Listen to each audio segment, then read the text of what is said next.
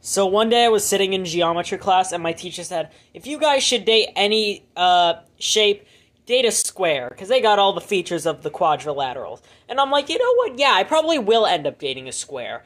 Meaning that both, like, literally and literally. Like, actually.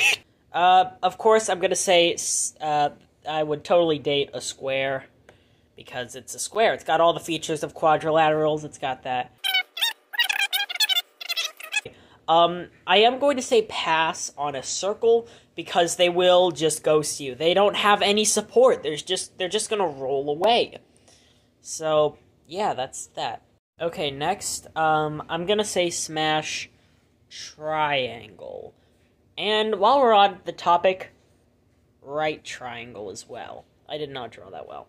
So equilateral and right triangles, I think both would be very good both have that support, and I feel like they're just, you know, they're literally the strongest shape in nature.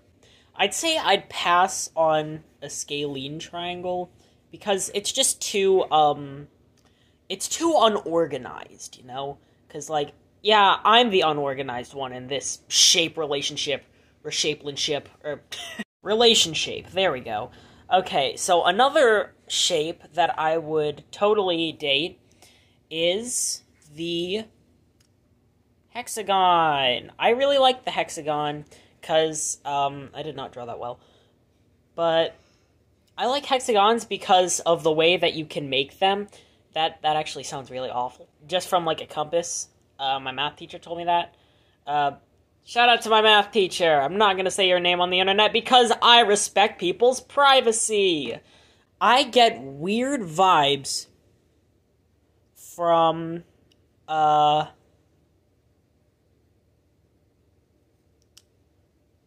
heptagons, septagons, whatever the freak you want to call them. I don't like these that much. Like I feel like this would be the creep of um shape. I am currently split on the heart.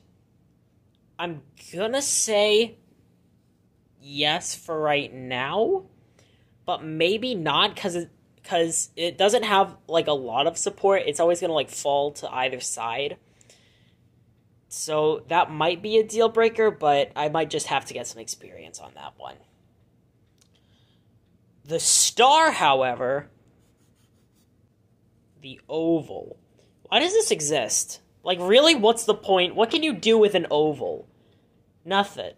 I'm gonna add the pentagon to the pass section because I don't know what it is, but I really just don't like odd numbered uh, shape. So that's why I'm to say that uh, in the smash section, I'm to add the octagon. This shape likes to take things slow, probably because, you know, stop signs and yada yada.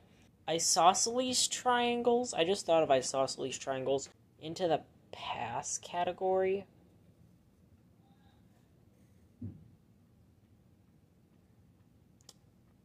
Because I feel like they're the type of shapes that can get like they're like they're in a friend group and they can they're like the one that just disagrees with everything.